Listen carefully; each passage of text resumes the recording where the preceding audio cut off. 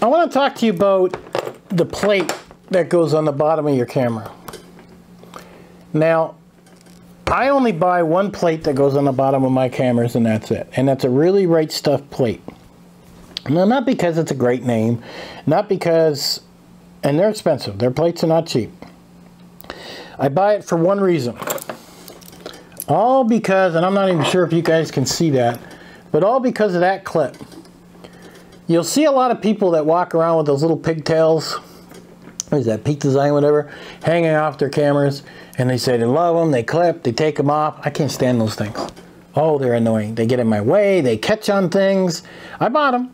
I got a couple, I got a Peak Design handle, I got a Peak Design strap. I gave them some of my money. Can't stand them. And then I found this. This really right stuff clip. This little clip is worth its weight in gold.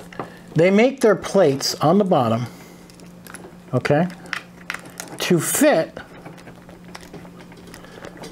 inside that clip. Do you hear that click? Okay, look at that. No pigtails, nothing to deal with, and it clips on.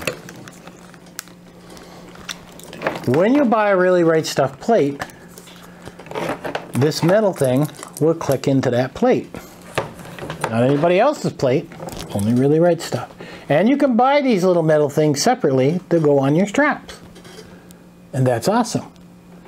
So when I unclip this, look at this, no pigtails, no nothing. Nothing there. Does not exist. Why? And that's what's nice about that. And I like that I've only got the handle, and I got the same on my 80D as I do my Canon EOS R. It's the same thing. Same handles, same everything. So my cameras will automatically clip in. Now this metal clip that really right stuff sells, and you can buy them separately, it will, okay, they use that, that metal clip for carrying AR-15s. They use it for guns on their um, on their holsters. They'll use it for when they put their gun straps on. And if it's going to hold a gun, it's going to hold your camera. When you buy the plate that goes under the 100 by 400 lens, again, it has that that snapping clip that'll go into it. So now you snap it into the 100 by 400 lens and you're not snapping it into the camera space. So I'm not a fan of having to take stuff off the bottom of my camera, put something on the bottom of my camera. I hate that. I hate that with a passion. I like to put stuff on my camera. I like to leave it there. And I know it's there when I need it.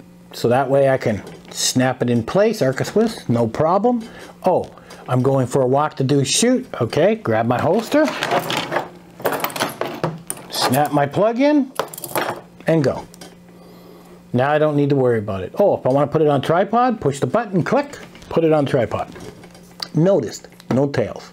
No little fish line hanging off my camera. Much better, more professional, probably a bit more expensive, but that is just more comfortable to me. So when you look at a plate for the bottom of your camera, I don't care what plate it is, Think about it for a minute. Yeah, you'll see plates for 20 bucks. You'll see plates for $10. But what are, what are they on the bottom? What are their connections? Do they have a connection for this metal thing that really right stuff makes? Nope. Is this behind a good name? Because, I mean, you don't want this thing breaking when you put it on a tripod and it falls off and breaks your $2,000 camera. No, you want to trust the name like Really Right Stuff. And they're not paying me.